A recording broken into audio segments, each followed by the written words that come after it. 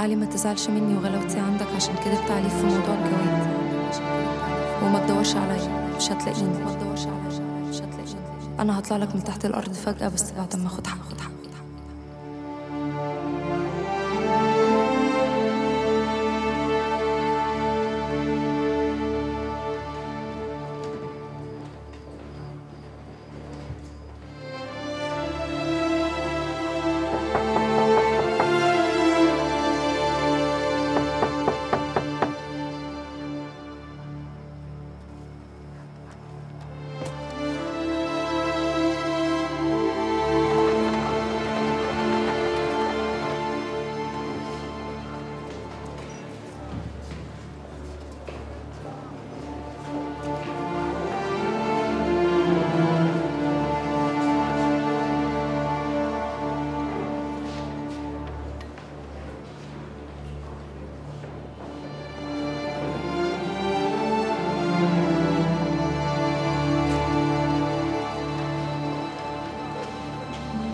وانت متخيل ان أنا هصدق الرواية اللي انت بتحكيها دي؟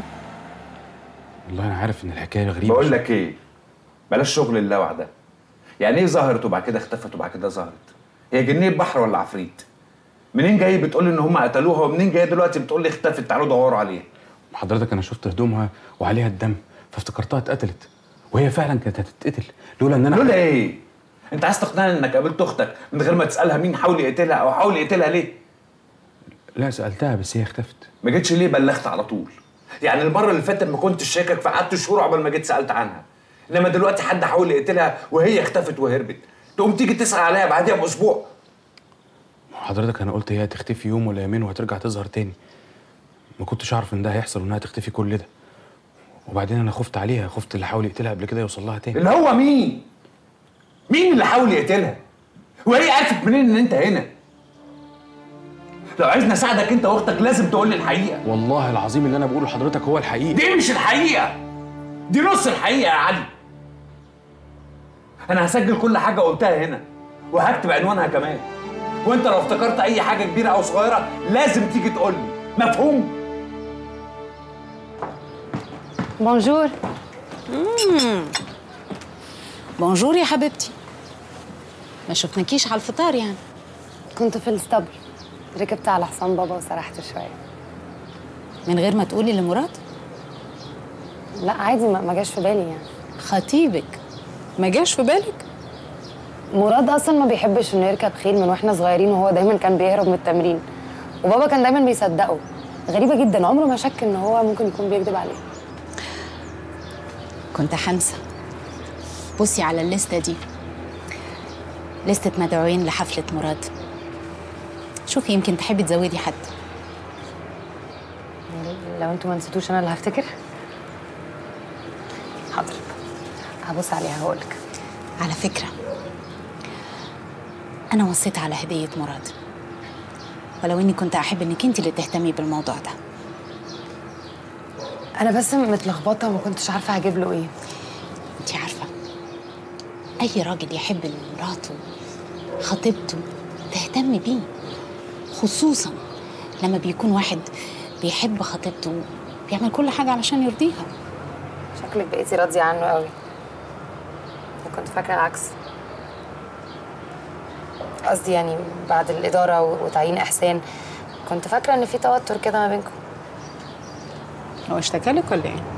لا لا خالص. أنا بقول لك أنا حاسة بإيه. بالعكس مراد عمره ما بيتكلم معايا في أي حاجة ليها دعوة بالشغل. ما هو علشان هو ما بيتكلمش معاكي في الشغل انت لازم تهتمي بالشغل سواء كنت انت ولا أمال. الفلوس فلوسكم مش علشان مراد ولا إحسان بيديروا الأوتيل. يبقى هم اللي يهتموا كل حاجة تبقى في إيديهم هم بس لأ. أيوه بس ده لو حد غريب هو اللي بيدير الأوتيل. مهما كان. الغريب لازم دايما تبقي صاحياله. ولو كان شاطر شوية عينيكي لازم تبقى في وسط راسك. الخوف دايما بيبقى جاي من اللي انت مأمناه له.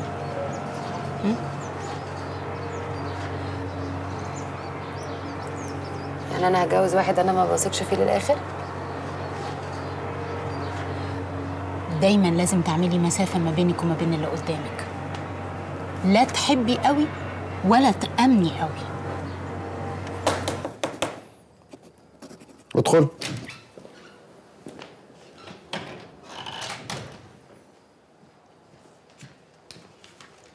أنا راجعت العرض بتاع الصيانة. العرض مناسب جدا وسعره معقول. وكلمتهم عشان أحدد معاهم ميعاد. بس أنا مش فاكر إني قلت لك تكلمه أيوه ما أنا ما كنتش اكلمهم بس لما لقيت العرض مناسب لو لقيت وهي- العرض مناسب كان لازم ترجع لي.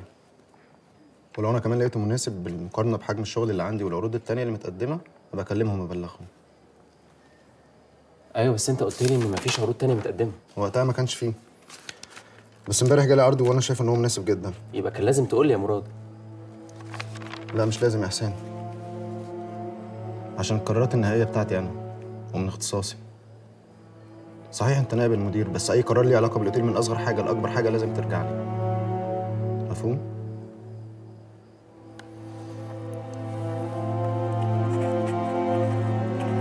بس أنا متأكد إن العرض اللي أنا قابلته ده هيفضل أحسن عرض. الملف. سيبولي وأنا ابقى أتصرف.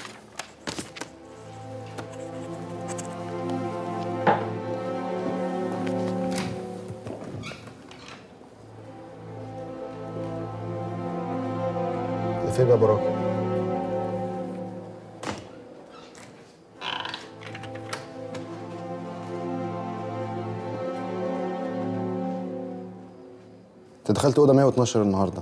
مظبوط؟ أيوه. أنا وعزيزة كنا بننضف النزيل قدمت شكوى بتقول إن في فستان غالي قوي كان عندها في الأوضة وتوسخ وأنت بتنضفيها. ما حصلش. وأنا بقى المفروض أكدب النزيلة وأصدقك انت لا طبعا. بس ممكن يكون اتوسخ منها غصب عنها وهي مش واخدة بالها. تفتكري؟ أنا متأكدة إن ما كانش فيه هدوم في الأوضة وأنا وعزيزة بننضفها. على العموم أنا بلغت الست سكينة باللي حصل. وهي بقى هتشوف التصرف المناسب في الموقف ده يبقى إيه. أدخل.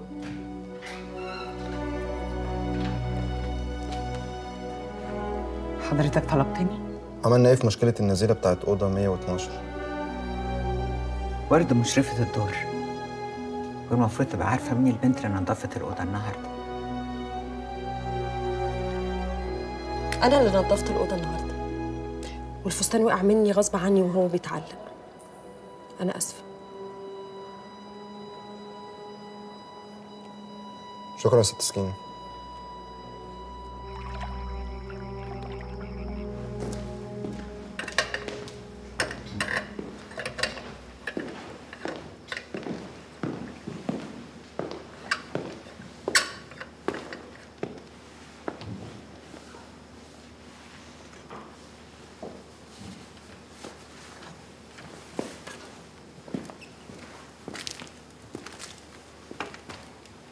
صح ليه لحد دلوقتي. كنت عايزة أطمن عليك. في جديد؟ لا. دورت عليها في كل حتة وما لقيتهاش. حتى أمين كان قايل لي على لوكندتين تانيين صغيرين كده قلت يمكن تبقى قاعدة فيهم. رحت ما لقيتهاش. هي قصدي إنك ما تلاقيهاش يا علي. عارف. خلاص يبقى لازم تروح للشيخ شريف وتسمع كلامي وتقول له كل حاجة. ولما أقول على كل حاجة مش ممكن يربطها بقضية قتل ماهر؟ وساعتها بدل ما اخدها ونهرب من هنا ألاقي نفسي بوديها في داهيه بايدي بص يا علي أنا صعب عليا قوي إن أنا أقعد معاك أفكر إزاي أنا ألاقي البنت اللي بتتهم عيلتي كلها إن هي حاولت تقتلها. وفي نفس الوقت صعب قوي ان أنا احس ان هي ممكن حياتها تبقى في خطر وفي حاجة إحنا ممكن نعملها وما بنعملهاش. وصعب قوي ان أنا أشوف حالتك دي. أنا الخوف اللي أنا بقيت شايفاه في عينك في آخر كام يوم على ضحى. بقى أكبر من الخوف اللي كان موجود قبل ما نلاقيها. كل خطوة كنت بقرب منها فيها كانت بتبعدها عني أكتر. كل خطوة كانت بتقربني لسر جديد. كان بايدينهم كان بايدينها هي كمان.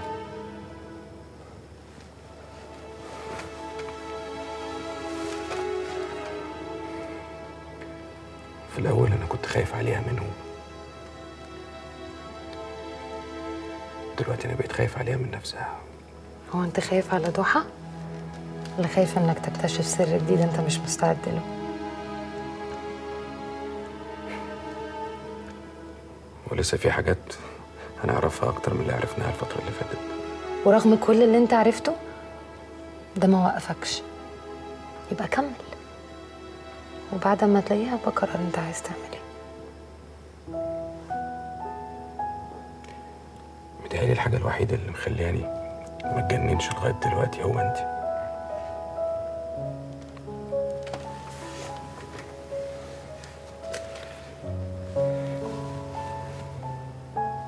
مش لاقي كلام اشكرك بيه. يبقى ما تشكرنيش.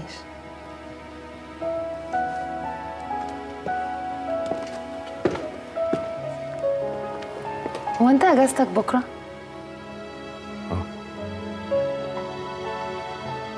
أصل أنا كنت عايزة أنزل البلد عندي مشاوير عايزة أعملها وما كنتش عايزة أروح لوحدي.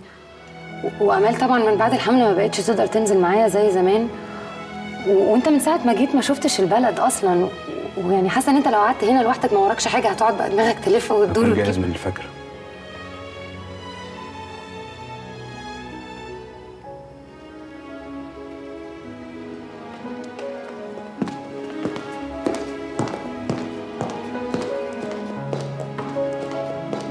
أنا كان ممكن أوقع عليها الجزم خاصة بعد مراد بيما قال لي إن دي مش أول مرة. بس أنا برضو ما حبيتش أخد قرار في لحظتها وقلت لازم أبلغ حضرتك باللي حصل وحضرتك تقولي لي أتصرف إزاي. عادي اخصمي من مرتبها. يا هانم بس الجزا في الظروف اللي زي دي ما بيبقاش خصم المرتب يا سكينة ما انت عارفة ظروف البنت. تلاقي الحمل تعبها و... انت الفتي انتباهها وقولي لها ما تكررش الغلطة دي تاني. حاضر يا هانم. صباح الخير. صباح الخير يا آمال هانم دي الورقة اللي فيها أسامي الناس اللي هعزمهم أنا وحسين حطيها على الكومود.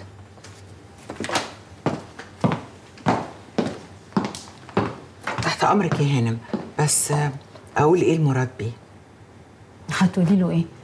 وعنده حاجات تانية أهم من ده يهتم بيها. حاضر يا هانم. روحي كملي شغلك انت وقولي لصديق إن إحنا هنتقابل الساعة 2 علشان نكمل بقية إجراءات تحضير الحفلة. تحت أمرك يا هانم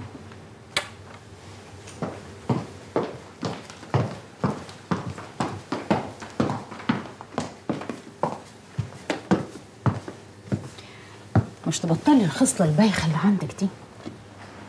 مش تخبطي على الباب قبل ما تخشي؟ ما كنتش أعرف إن حضرتك هنا. أحسن قال لي إن انت عندك اجتماع معاه هو ومراد تحت شكلك كده عايزة تقولي حاجة. في إيه؟ مين البنت اللي كنت بتتكلمي عليها مع دادا سكينه من إمتى بتهتمي بأمور الشغالات؟ مين البنت الحامل يا ماما؟ الله. مش دخلك أنت في التفاصيل دي؟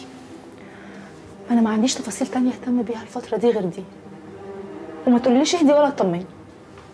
عشان اللي أنا فيه ده يجنن أي حد. مش فاهمة حضرتك هتخسري إيه لو فهمتيني مش انت عايزين نرتاح فعلا؟ قولي لي عايزة تعرفي إيه وأنا أقول لك دي البنت اللي هتاخدي منها البيبي؟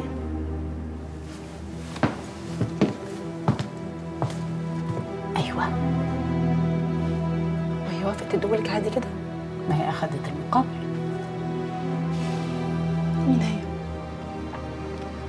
بتهيألي من حقي أعرف أنا هاخد ابني من مين زي ما هي عارفة هو رايح فين. هي ما تعرفش إن ابنها رايح فين ولا حد يعرف. الكل يعرف إنك أنت حامل علشان كده حملك ده لازم يبقى ماشي عادي جدا. طب ممكن حضرتك تريحيني وتقولي لي هي مين؟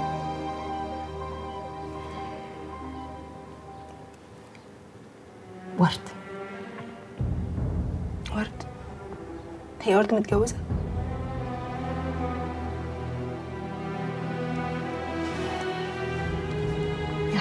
هاخد ابن الشغالة اللي مخلفاه في الحرم دي هتاخدي ابن وتربيه. وفي الآخر ابنك ده هيبقى ابن بشوات. مش بس ابن حلال.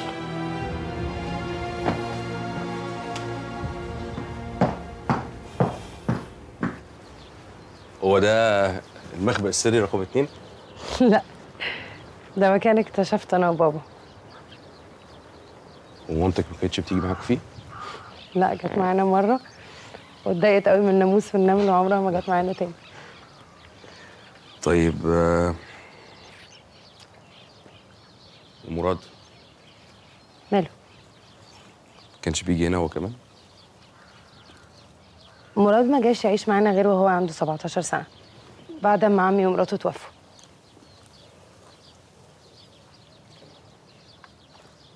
ممكن أسألك حاجة؟ انت من حقك تسأليني أي حاجة. قبل أسوان كنت فين؟ كنت بتعمل إيه؟ بعمل إيه في إيه في حياتك كنت بتشتغل فين؟ كنت خاطب ولا لأ؟ آه يا ستي كنت بشتغل كنت ماسك حسابات أرض زراعية بس الشغل ما كملش وحصل فيه مشاكل وبعد كده سبته ومبقاش عندي شغلانة ثابتة هو كان إيه السؤال التاني؟ لا عادي ما ما كانش قصدي بسؤال محدد. أنا بس كنت بحاول أتعرف عليك أكتر. بيني وبينك أنا ما كنتش حابب شغلانة الحسابات دي. بس كانت أحسن من شغلانتي في الأرض. يعني اعتبرتها ترقية. طريقة أوصل بيها اللي نفسي فيه. كان نفسي يبقى عندي حتة أرض صغيرة. وأخلي أختي تبطل شغل وتيجي تعيش معايا فيها لغاية لما أتجوزها وأطمن عليها. بالنسبة بقى للموضوع التاني بتاع الخطوبة ده لأ ما خطبتش. بس كان عندي قصة كده وما كملتش. ينفع أسألك ليه؟ أنا قلت لك ينفع تسأليني أي حاجة.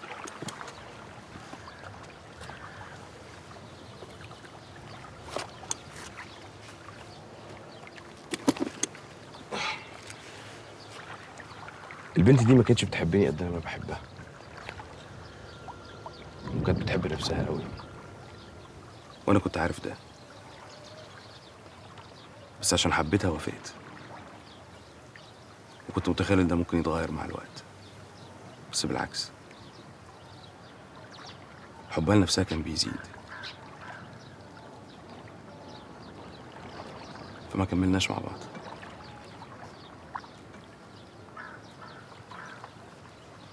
يا أخي الحب ده معقد أوي. لا والله يا نازلي بالعكس. الحاجات التانية هي اللي معقدة.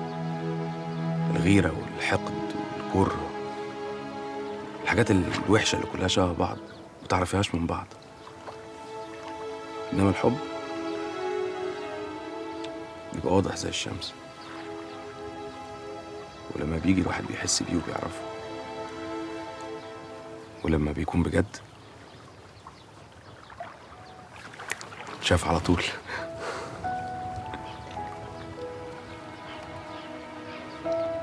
إحنا اتأخرنا قوي أكيد كله بيدور عليا في الأوتيل. طيب إحنا هنرجع زي ما جينا. همشي وراكي من بعيد بس عشان أبقى مطمن عليكي ولو إني مش عايز أمشي.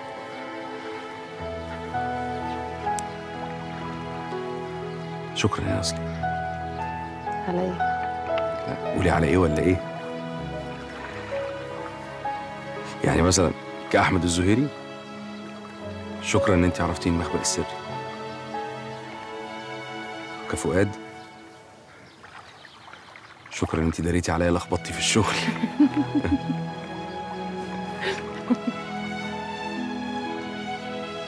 كعلي بقى لو فضلت أشكرك من هنا للسنة الجاية مش هيكفيكي. أول مرة من ساعة ما جيت أحس إن أنا مرتاح بالشكل ده. دايما كنت قلقان وبفكر. مش عارف أنام. دلوقتي وأنا معاكي مرتاح.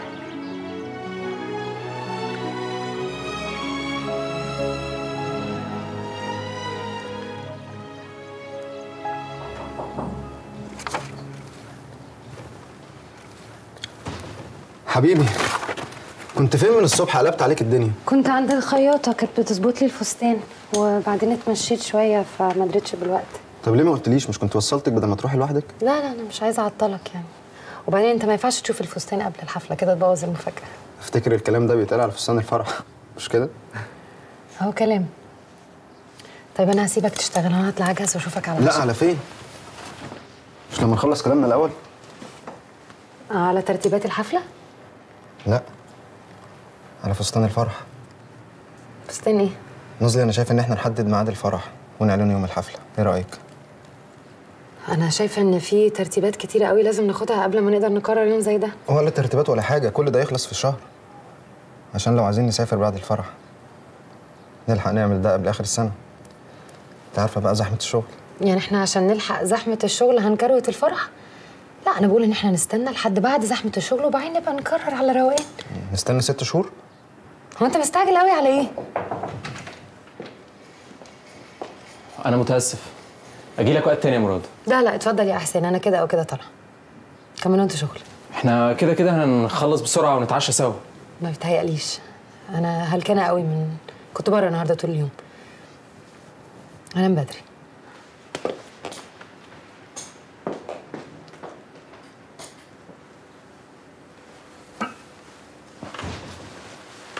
انت طبعا عارف عزمي باشا هارون أو تسمع عنه. طبعا. ماله؟ هو صديق شخصي لوالدي من أيام الطفولة. كنت وعدته اني هقبل دعوته ليا أنا وأمال عنده في باريس الشهر الجاي. بس طبعا مش هينفع نروح له عشان خاطر ظروف حمل أمال. وأنا مالي بقى بكل اللي أنت بتحكي فيه ده يا حسين؟ أنا أقنعته إنه يلغي رحلته لباريس السنة دي ويجي يشتي عندنا هنا في الأوتيل هو وعيلته. كنت عايزك تحجز له جناح وأربع أوض ليه هو وعيلته لمدة 10 أيام الشهر الجاي. هبقى أقول لك إمتى بالظبط لما احدد معاه الميعاد ما ينفعش يا علي. هو إيه اللي ما ينفعش يعني اللي في دماغك يا علي ما ينفعش. أوه. وأنت عارف كويس ما ينفعش. كل ده عشان خدتها في حتة بعيدة عن اللوكاندا عشان نعرف نتكلم براحتنا؟ ما أنت فاهم كويس إن إحنا هنا يبقى في حوالينا ألف عين بتبص علينا. يا علي أنت عايز تفهمني إن أنتوا قعدتوا كل ده مع بعض بتتكلموا في ضحى بس؟ انت هتدعم مني يا صاحبي عشان بكلمك في الحقيقة؟ أنا خايف عليك. وقلت لك 100 مره قبل كده هنا طيبة طيبة وحنينة بطبعها. ما انت كمان يا علي لازم تشوف الفرق بينكم. هي مش منتوبه وإحنا مش منتوبها طب ازود لك على كلامك يا أمين. هي بنت صاحبة اللوكاندا وأنا جرسون فيها. هي هانم بنت باشا وأنا ابن فلاحين. هي مخطوبة. وخطيبها ده ضحك على أختي وكان عايز يقتلها. ومش بعيد أمها كمان يبقى ليها يد في اللي حصل. طب ما أنت فاهم وشايف كل حاجة اهو يا علي طب ما أنت كمان يا أخويا عارف وشايف كل حاجة. عارف إن ورد بتلعب بيك ومش شارياك. يوم تعشمك ويوم تسكك. وعارف إن أمك بتطيق الجن الأزرق وما بتطيقهاش. ولو حلفت لي على المية تجمد. إن اللي في بطنها ده ابنك أنا مش هصدقك.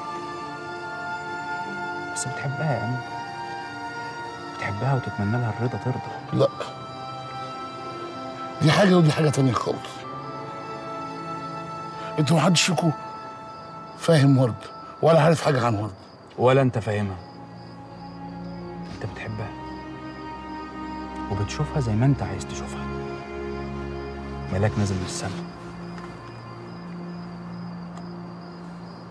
وانت بتشوف نزل إزاي؟ قولي طب اعقلها طبعا عشان ما فيهاش عقل يا أمين. هي ما فيهاش عقل وأنا عارف. هو جنان. جنان أنا اتعلق بواحدة بالسرعة دي. جنان إن وسط المصايب اللي بتحصل لي دي كلها قلبي يستكردني ويتشد لها جنان إن أنا أفكر إن واحدة زي دي ممكن تبص لواحد زي ده مش جنان يا علي. ده مستحيل.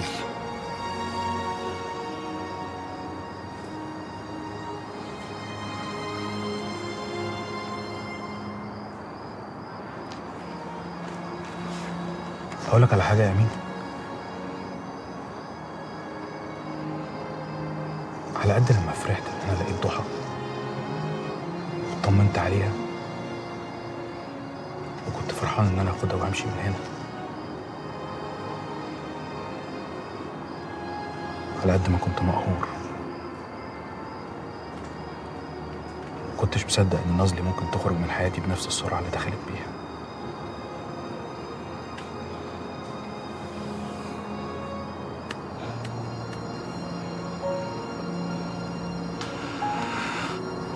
مروان ابو الحب يا شيخ.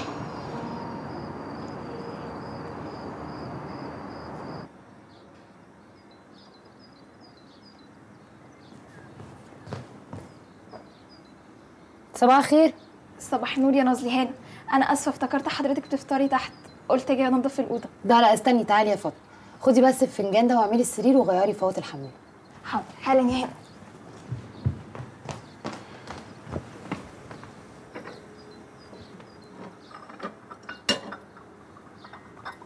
حلو اللون؟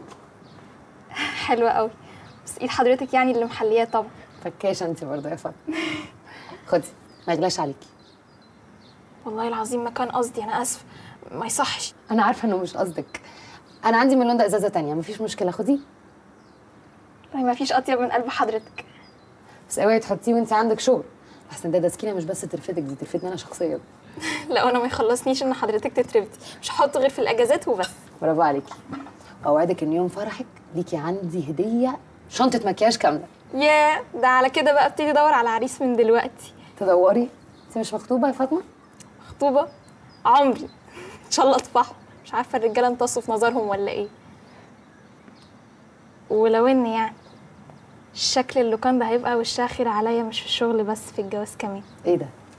حد اعرفه ما يتهيأليش أصله جديد ومش بقاله كتير يعني شغال هنا. عن إذن حضرتك.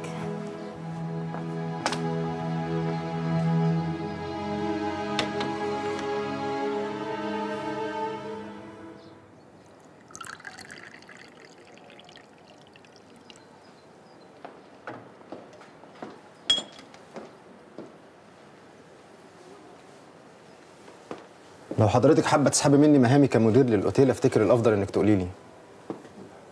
انما تاخدي قرار من غير ما تبلغيني بيه فده شيء مش مقبول يا اسمة تاني.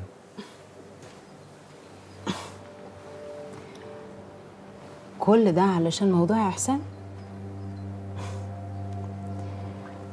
الراجل ثبت إن هو كفء في فترة صغيرة جدا. عرف يزود حجوزات الأوتيل وده طبعا بحكم علاقات أبوه. يعني بديهي. يبقى مسؤول عن الحجوزات. وأنا مش بتكلم عن إحسان. أنا بتكلم عن سكينة يا هانم.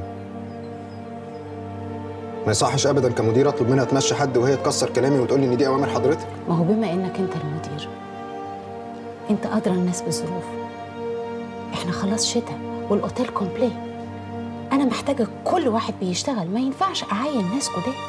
أيوه يا هانم. بس البنت دي مش أول مرة تغلط. دي غلطت كتير قوي قبل كده. عاوز كينا جازت أنا مش فاهم. إيه أهمية البنت دي في الأوتيل؟ يعني هي أهم من سكينه وأهم من الإدارة كمان؟ مراد متهيألي البنت دي لا تهمك في حاجة ولا تهمني أنا. أنا يهمني مصلحة الأوتيل وبس معاكي حق. المهم الأوتيل.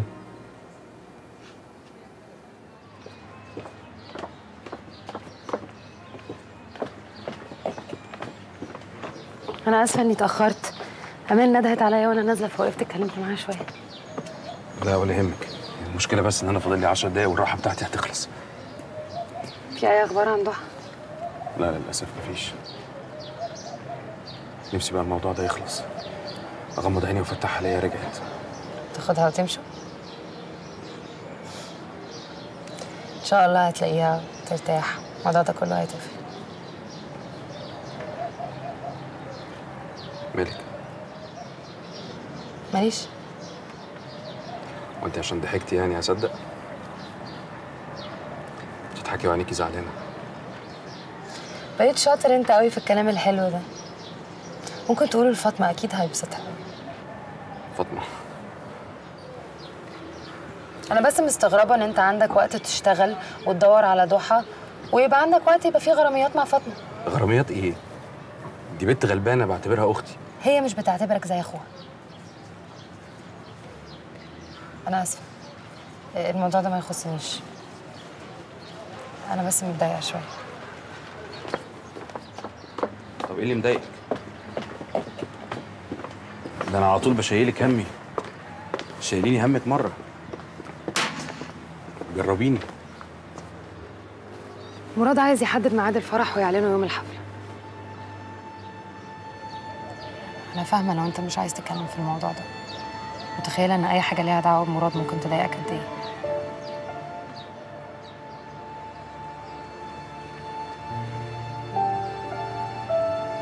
لا هو الموضوع ملوش دعوة بمراد. الموضوع ليه علاقة بيكي. تعالي نعتبر إن في أي حد جاي بيتقدم لك و... ولازم يبقى القرار عندك. انت عايزة إيه؟ أنا مش عارفة أنا عايزة إيه. أنا من ساعة ما رجعت وأنا بحاول أحدد مشاعري تجاهه هل أنا بحبه؟ وكل اللخبطة اللي حصلت على موقف ضحى ده خضني وخوفني فبعدت؟ ولا هل أنا باقي عليه عشان هو أكتر من خطيبي؟ ده ابن عمي اللي أنا متربية معاه طول عمري. تلات أرباع ذكرياتي معاه. ولا هل أنا زي البنت اللي أنت كنت بتحبها؟ بحب حبه ليا.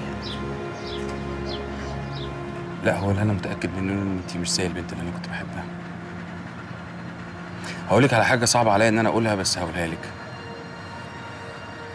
شيلي ضحى من حساباتك وفكري في مراد من غير أي شكوك. مش بحس إن أنا نفسي وأنا معاه. أنا دايما متعودة إن أنا أمشي ورا إحساسي. حتى لو كل الناس ضدي ما بسمعش كلامهم أنا بمشي ورا إحساسي وأنا مغمضة. طب هو إيه اللي اتغير المرة دي؟ المرة دي إحساسي مش عايز يريحني. عمال بيلخبطني كده ما بين سكتين. طب هو يمكن إحساسك ده زعلان منك علشان انت المرة دي مش سامعة كلامه ومعنداه أنا وقت الراحة بتاعي خلص. لازم أمشي ونبقى نكمل كلامنا بعدين. بس أقول لك على حاجة. زمان لما سبت البنت اللي أنا كنت بحبها كنت متلخبط. ما كنتش عارف إذا كنت بحبها بجد ولا لأ. بس عارفة إمتى اللخبطة دي خلصت خالص؟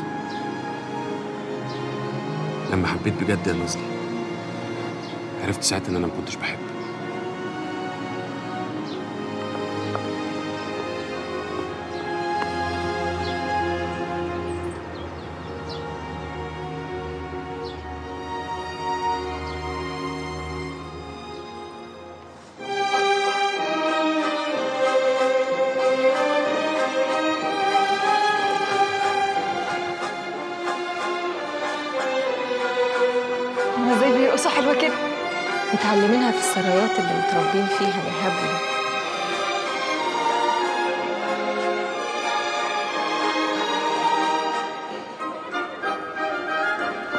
أشوف عينيكي. أنت شفتها كتير. وبعدين ده بلمس فيه يعني أنت كمان كنت المفروض تبقى لابس ماسك. مش بحب الإقناع ولو حتى على سبيل الاحتفال. تعرف ترقص؟ لا. إحساس رائع إنك تسيب نفسك للمزيكا تاخدك يمين وشمال خصوصا لو بين أحضانك اللي أنت بتحبها. تحس ساعتها إنك بتمتلك الكون كله. لو سمحت انزل المطبخ بسرعة. هنقدم أول طبخ. سكينة. اسمحي لي بالرقصة دي ما تقوم يا إحسان ترقص أمال. أنا جاهز يا هانم. بس آه، إحنا لسه متكلمين في الموضوع ده وهي مش عايزة تقول ما أنا قلت لك إنه مش هينفع يا إحسان عشان الحمل. وإيه علاقة الحمل بالرقص؟ إحسان قوم استقبل الضيوف معايا بدل مراد. النهارده عيد ميلاده ومش عايزه أزعجه. حاضر يا هانم. الحفلة حلوة قوي يا اسماء بس يا ريت تكمليها من غير خطب. منورة يا فخر هانم. آه يا ريت تقعدي يا اسماء تريحي رجليكي شوية انت كبرتي والمجهود ده مش كويس عليكي. إزاي يا طنط؟ حضرتك عارفة إن كل اللي يشوف ماما معانا يفتكرها أختنا الصغيرة؟ لا دي مجاملة جامدة قوي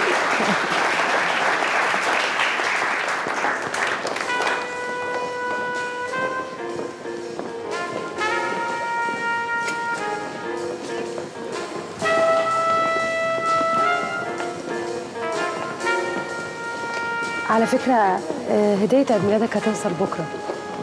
هي بس اتأخرت عشان معمولة عمولة. هديتي اللي بجد السنة دي هي ردك على سؤالي اللي سألته من كام يوم. تشربي إيه؟ لا ابدا ولا حاجة. أنا هروح اسلم على بقيه الناس هتدفع الثمن مرتين مرة ليا ومرة لماهر مراد؟ رفيق بقى عايز يغير أوضته. مراته بتتشائم من رقم 13 طبعا يعني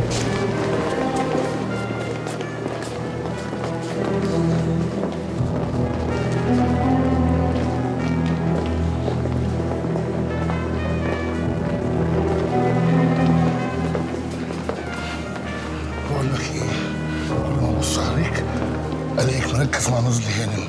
لو حد غيري خد هتبقى كارثة ها؟ لما نفسك وشوف شغلك يا جرسون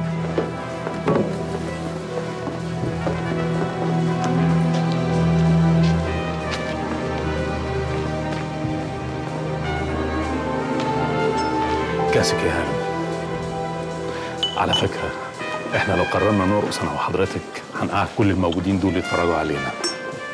أنا مجنونة وأعملها. وأنا اجن من حضرتك بس ما أعملهاش.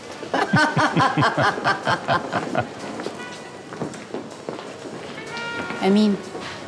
نزل الطبق الرئيسي كمان نص ساعة واعمل حسابك يبقى سخن طعم الجبن شفتي حماتي؟ مش قلت لك هتعند ومش هتيجي. مش معقول يا أمال مش معقول. لو جت بتزعلي ولو ما جتش برضه بتزعلي. حبيبتي بقيتي نكدية جدا جدا. قومي رقصي جوزك يلا. أرقص معاه إزاي يعني؟ والقماش اللي انت مخلاني الفه على بطني مضايقني ومخليني مش عارفة أتحرك. وبعدين حاسة إن هو لو جه جنبي في أي لحظة هيعرف كل حاجة. جمدي قلبك.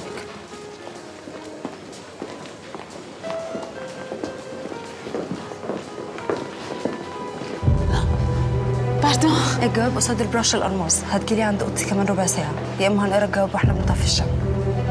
الجواب قصاد البراش الالماس كمان ربع ساعة هتجيلي قدام اوضتي اللي في ممر البنات. فاكراها؟ يا إما بقى هنقرا الجواب ده مع كل الناس. وانتوا بتطفوا الشمع ماما انت كويسة؟ طلعيني اوضتي دلوقتي. في هاتي هاتي الدكتور.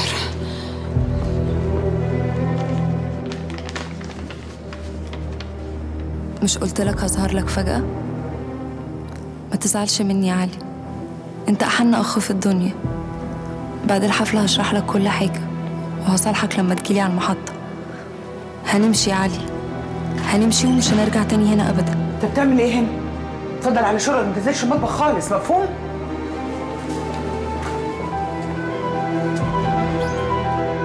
مش قلت لك هظهر لك فجأة؟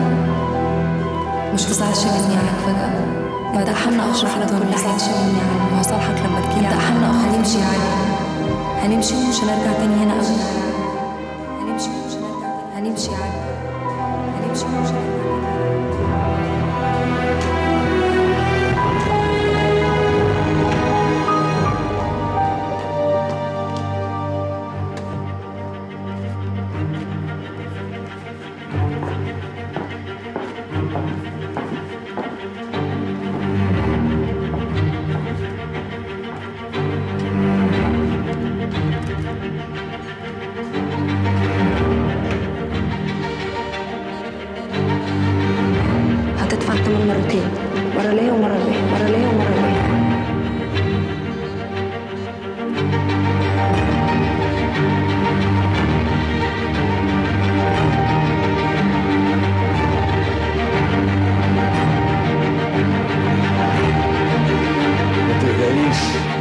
بس تلاقيها أرهقت نفسها النهارده. لو عندك المنوم اللي كتبته لها تاخد قرص واحد وتنام للصبح. سلامتك يا إسمت. ميرسي دكتور.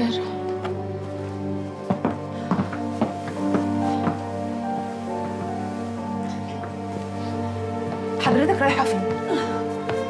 لازم انزل تنزلي تروحي فين؟ ما سمعتيش الدكتور قال إيه؟ اديلي شكمك. شكمجات إيه؟ دلوقتي بس يا ممكن تفهميني في إيه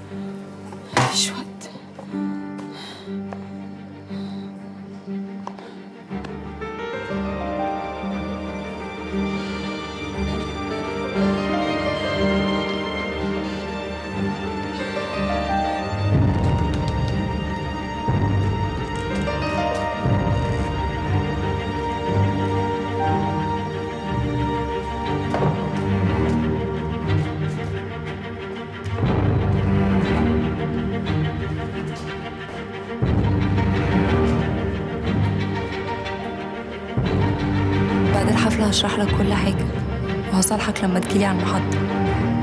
هنمشي يا علي. هنمشي ومش هنرجع تاني هنا أبدا.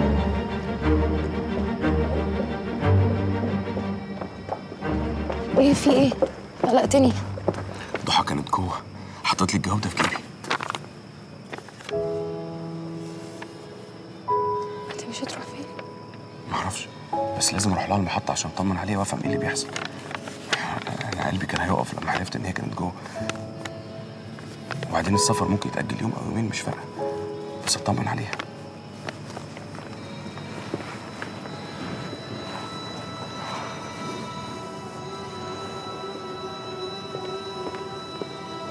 بتعمل إيه هنا؟ خرجت اشم شوية هوا أنت كنت بتدور عليا؟ آه ما شفتش حد خارج من هنا؟ حد زي مين؟ آه، قصدي صديق يعني يا دوبك بينزل العشاء صح؟ يلا